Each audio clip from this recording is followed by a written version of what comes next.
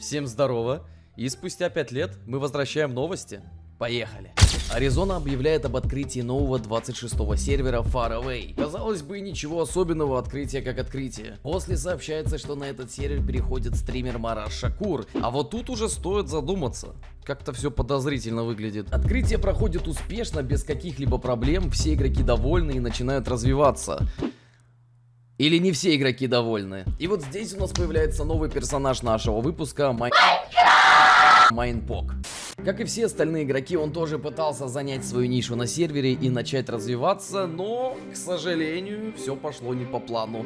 Почему? Сейчас расскажу. По его словам, было невозможно конкурировать на сервере, так как Мараз взял под свой контроль совершенно все, что можно было взять. На открытии Саня имел тысячи АЗ монет, которые передавал новичкам, дабы они прокачались до шестого уровня и сразу же вели его промокод. Тем самым набирал себе огромное количество активаций моментально, прокачивал промокод дальше, не оставал ни малейших шансов остальным другим игрокам и другим промокодам. После появились проблемы и с бизнесами, а именно началась какая-то война баров. Ютубер Майнпок купил свой бар как последняя надежда в чем-то проявить себя на новом сервере, но даже здесь все пошло не по плану. Через пару дней Мараз заявляет, что тоже хочет приобрести бар и его развивать. Представили лицо Майнпока? Так вот, Саня решил не напрягаться и просто сказал. Майнпок, отдай мне этот бар. Дай мне этот бар.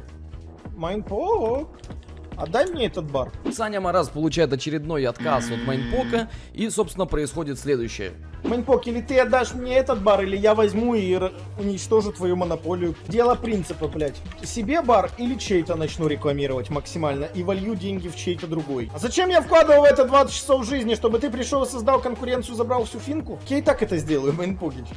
Блядь, я же и так это сделаю. Ну тут, блин, ну тут вариантов немного. Еще раз представим лицо Майнпока. И это еще ютубер, не просто игрок, у которого вообще ничего нет. Здесь хотя бы есть какой-то YouTube канал, какая-то аудитория, с помощью которой можно как-то отвечать и конкурировать против Сани. Но это все равно никого не спасает и в очередной раз доказывает то, что как Саня захочет, так и будет происходить на его сервере. Блядь, я же так это сделаю. Ну тут, блин, ну тут вариантов немного. Получается, что Марас у нас подкован во всех сферах. У него и моментальный топ-1 промокод на сервере, который был не очень честно вкачан. Я думаю, там и семья Шакур тоже не отставала, по-любому топ-1 было, да? Так еще и получается, сверху забираем бизнесы, угрожая остальным владельцам. Или ты отдашь мне этот бар, или я возьму и уничтожу твою монополию. Дело принципа, блядь. А на следующий день, после разоблачения от Мейнпока, проходит очередной стрим Мараса, итоги которого довольно интересны. Бар Марас Шакура сливается в ГОС, Запомните, я не, блядь, нытик пидорас, блядь, которому ху- вот так сосать за верты. Мне вообще похуй. Беси меня, деньги скидывай, блядь, тормоз! Я, блядь, в отличие от некоторых, блядь, за верты не, тр- не трясусь. Скидывай 200 миллионов, блядь! Я тебе даю минуту скинуть, блядь, деньги! Иначе у тебя, сука, минус аккаунт! Но если так все равно на верты, зачем было вообще создавать конкуренцию во всем, чем только можно было? И моментально сделать себе топовый промокод, чтобы его вводили и фармить себе АЗ монеты. Ну а сверху еще и угрозы другим ютуберам, отдавай мне бар, либо будет хуже. Или ты отдашь мне этот бар, или я возьму и уничтожу твою монополию. После он удаляет свою прокачанную фому, но чтобы это все закрепить, он еще сверху и майнбока забанил. Войной, значит войной. Банов до разбирательств. Обман игроков. Ну а что там по финке у бара? Вот эта финка, когда я в сети был дв- 10-12 часов. Скажите, пожалуйста, бар в такой жопе, в такой пизде, такого крупного ютубера Майнпока мог бы приносить по 170 миллионов каждый день? Или за сегодня даже 75? Да, мог. Не, парни, не мог. Они крутили финку. Они крутили финку для того, чтобы говорить, что он охуенно, ебать, он охуенно все делал. Так, ага, значит финка все же накручена и денег толком нет. Ты одолжил у парней деньги. Ты должен был вернуть деньги еще часов 10 назад. Деньги у тебя есть. Деньги ты не захотел вернуть. Ну, Финка ж идет, блядь. Деньги есть. Так подожди, только что там не было ж денег, она же накручена. После этого всего Александр становится неприкасаемый, он сливает свой бар, никаких к нему претензий больше нет, и теперь вы виноваты, а не он. Это не ютубер, я имею право банить. Это не война баров, потому что это бара у меня нету. За что теперь можно предъявить мейнпок? Я не знаю, на что Марас так сильно обиделся, но мейнпока ролик мне понравился. Все это было по факту сказано, очень информативно. И такие ситуации реально происходят, когда ютуберы немного перебарщивают. Я давно знал, понимал, что как бы у Сани огромная аудитория, а это значит и куча вильд, бесконечные Z-монеты, куча всяких связей, привилегий, но зачем этим так сильно выпендриваться? Или чей-то начну рекламировать максимально и волью деньги в чей-то другой. Слышите, майнпоговцы? Как бы вас назвать правильно? Какие-то непонятные провокационные вопросы по поводу промокода, а если даже ответили все «да», Вам по 4 миллиона выдавали? Да. Скажите мне в ВК. Вы что же скрините, как вам 4 миллиона перевели? И вообще, какой смысл спрашивать про чужой промокод на своем стриме? Очевидно, большинство напишет, что нет, они же ввели Шакур. Что ж, майнпок, пиши жалобу на форум. Сначала обижаемся и сливаем топовый бар, который через пару дней никому не нужен будет. После мы говорим, какой мы молодец, и нам вообще все это не надо было. Я, блядь, в отличие от некоторых, блядь, за верты не, тр- не трясусь. Я тебе даю минуту скинуть, блядь, деньги! Забываем наказать своего обидчика До разбирательств. и начинаем развлекать чат, чтобы они забыли, что вообще произошло. Играю нечестно, что я пидорас, что я вся хуйня. Я вспоминаю вот эту вы. Что? Что? Что? Что? Майнпок, я на весь экран тебя сделаю. Ты красивый. Сосите. Блин, такой красивый. Такой красивый, отвечаю. Бля, мне понравился. Бля, такой красивый.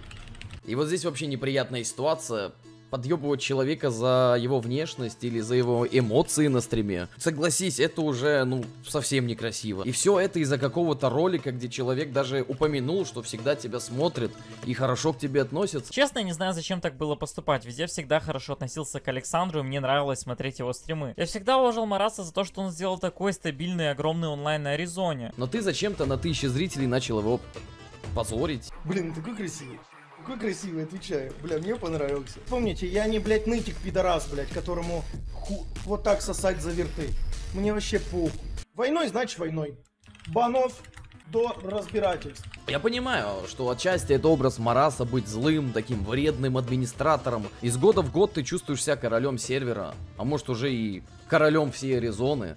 Но везде есть грань, про которую нельзя забывать. Подобная ситуация была у меня на сервере Ява, который открылась 4 месяца назад. Бегаю я бичиком на открытии, работаю на ферме, и ко мне подбегает игрок и начинает меня оскорблять и обвинять то, что я мешаю ему играть со своей шайкой ютуберов. Прикиньте, только через один месяц я понял, о чем мне говорил тот самый игрок. А оказывается, он говорил про Рома Дита, Нора Лива и их компашку, которые приходили на новые сервера, донатили, скупали бизнесы, делали монополии и тупо не давали возможности другим игрокам.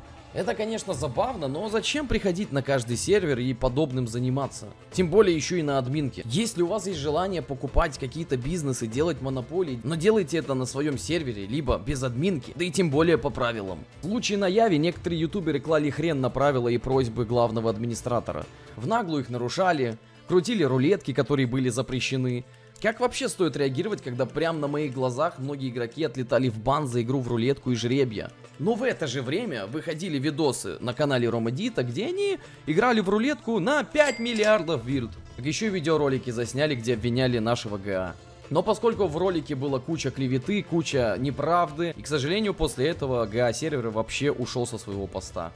Только когда на моих глазах я все это сам лично увидел, как ютуберы обошли наказание, как они забивали хрен на какие-то правила и делали так, как они хотят. Я вспомнил про того игрока, который переживал и жаловался. И он имел в виду вот про эту компанию ютуберов, которые на тот момент хотели скупить все бары и все нефтевышки. Хочу подметить, что кроме Диту и ко всем остальным ребятам, Марасу, я нормально отношусь, но я лишь просто напоминаю, что мы ютуберы, которые должны приводить позитив на сервер и делать приятные условия для игры. Вы здесь не ради того, чтобы монополии бизнесов собирать и верты фармить.